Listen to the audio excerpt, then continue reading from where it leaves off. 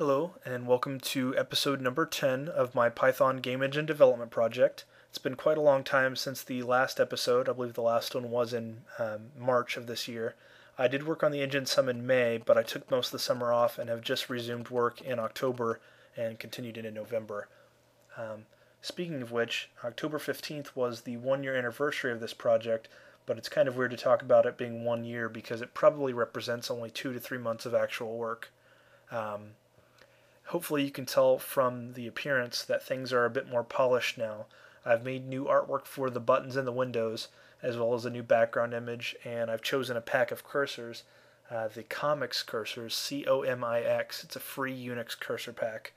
Um, and the reason I needed a new pack of cursors is because I've added a new uh, feature called cursor modes that I'll talk about in just a moment. Um, in addition to the visual changes, I've also rewritten pretty much every component of the engine. Um, it's not a rewrite from scratch, but everything has been made more efficient, more organized, more readable. Uh, so that's that's quite nice. Um, all right, on to the cursor modes.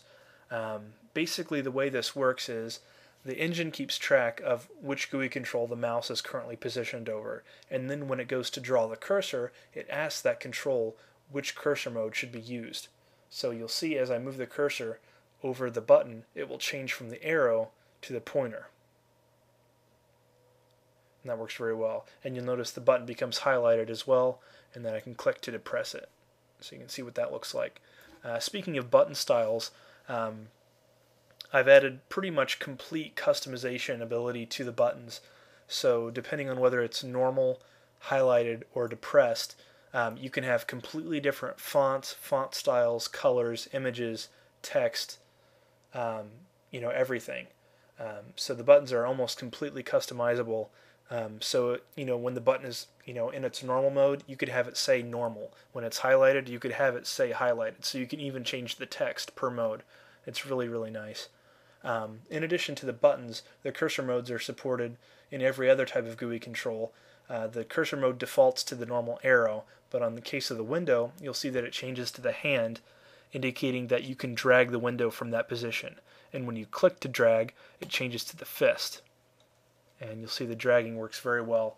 Uh, in previous versions of the engine, there has been some glitchiness uh, with the uh, mouse movements as you get towards the edges of the screen but I'm very happy to announce that I've squashed all of that, and so now it's very, very smooth.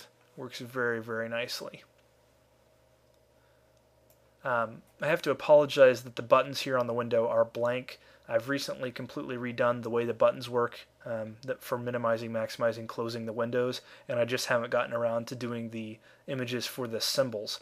Um, but the buttons themselves do work. You'll see I can click this to minimize, and that's how it looks. Um, you can maximize as well and then close. Um, closing works a little bit differently now. In previous versions, closing was actually a destructive process, meaning it destroyed the window and it was no longer usable. Now, what it does is it just sets the parent of the window to none, meaning you know nothing contains the window and the window will no longer be displayed. I've set up this push button here to push the window back onto the stack by setting its parent as the main menu GUI. And you'll see that the window reappears.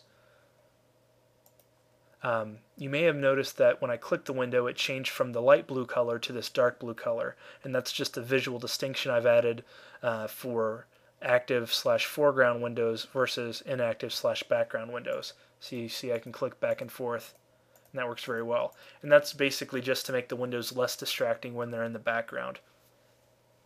Now, something else that you can do for the Windows, uh, a new feature, is being able to uh, turn these buttons and their functions off and on. So if you don't want to allow a user to minimize a window, you can set its minimizable property to false, which is what this button does. And you'll see the minimize button goes away, and you can no longer minimize the window. Uh, maximizable does the same thing. The maximize button goes away, you can no longer maximize the window, and you can even turn off closing. So that works very well. Um, uh, you can do the same thing for dragging. So if you click that, you can no longer drag the window. And then resizing. Uh, resizing is a new feature for the uh, engine, so you see that as I move the mouse over the edges of the window, the cursor mode will change to this uh, resizing arrows, and it can be um, vertical, horizontal, or even diagonal. And you may be wondering what these colored squares represent. Another feature I've added to the engine uh, is the support for horizontal and vertical alignment and sizing. And that just means that as you resize uh, the window, the controls inside it uh, can respond differently in terms of their position and their size. So you'll see that all these windows will remain um, positioned with this same 10 pixel uh, border around the edge, no matter how uh, large or small the window gets. And they also change their size. So both their sizing and positioning is relative to the sizing and positioning. Uh, I'm sorry, the sizing of their uh, the window that they are in. And so the red square is uh, relative to the top and the left. The pink square is relative to the right and the bottom. So you can, uh, you know, that's highly customizable, and it makes for a lot, um, a lot better GUI support, especially in terms of supporting different resolutions. So if you know you want, you know, window A at the top left, window B at the bottom right, no matter how large the resolution the user is running, you know, this horizontal vertical alignment sizing feature will let you do that. Uh, one thing I had to add to support the resizing uh, feature um, which is available in all GUI controls, not just the Windows, is the concept of minimum sizes. So you'll see that, let me turn these uh, buttons back on. You'll see that I've made it so that you cannot resize it to the point where these buttons get cut off. So its minimum size is, is about 100 by 100.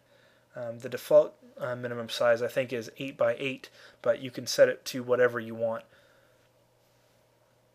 uh, per, uh, per GUI control type.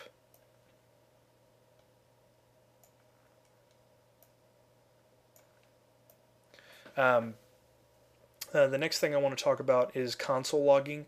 In addition to having the dedicated console window that appears whenever you launch the engine, it now logs the output of the console to a file as well, console.log.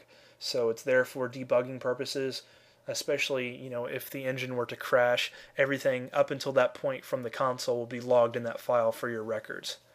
Um, so that works very well. Um, I think that covers everything that I wanted to talk about. Uh, there are a couple more GUI controls that I want to make uh, before getting into the uh, 2D physics. Uh, the main thing that I want to do is the in-game console that will show the console output and allow you to run you know various commands from within the game.